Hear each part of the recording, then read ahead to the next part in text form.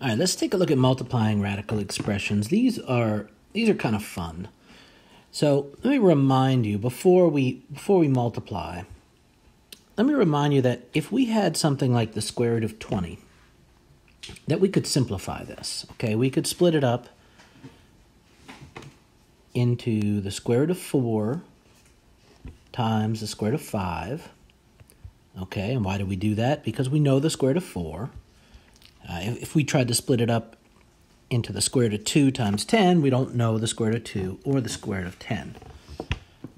We do know the square root of 4, which is 2, so 2 square root of 5. So I just wanted to show you when you simplify that you can take this number and you can split them up into two radicals. And likewise, you can put them together back into one radical. So let's take a look at that. That's what we're doing here.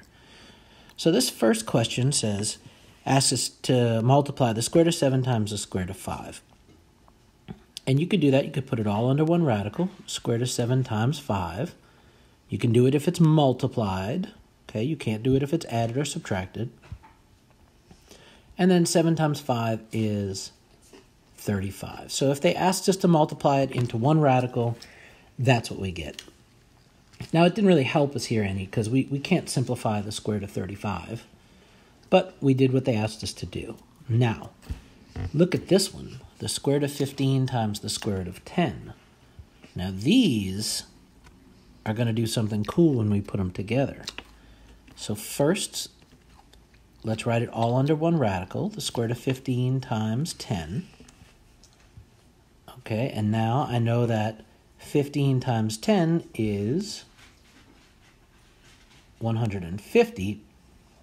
And now I can simplify this now. The square root of 150. What's a perfect square that goes into 150? And if you're thinking about money, $1.50, you're thinking that 25 cents quarter goes into there. So 25 does go into 150.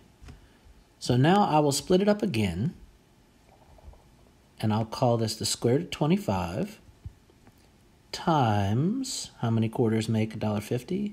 6. And now I know the square root of 25. The square root of 25 is 5. So 5 squared is 6. So in this case, when they wanted me to multiply these two radicals, I, I can't simplify 15, and I can't simplify 10. Square to 15, I don't know it. Square to 10, I don't know it. But when I put them together, I end up being able to simplify. Pretty cool, huh?